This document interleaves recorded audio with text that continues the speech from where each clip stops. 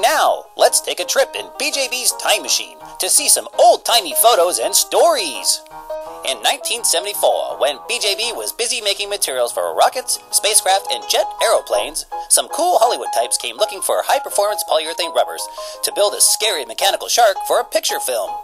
Our founder, BJ Bryan, had just the whiz bang material for them.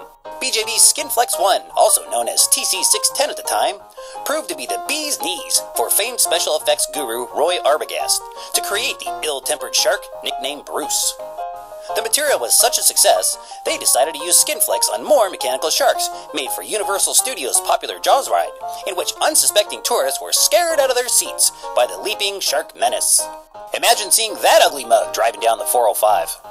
So while some folks claim the materials have been around since Jaws, BJB Materials actually was Jaws, and their high performance systems continue to chew up the competition. BJB continue to take the mystery out of materials.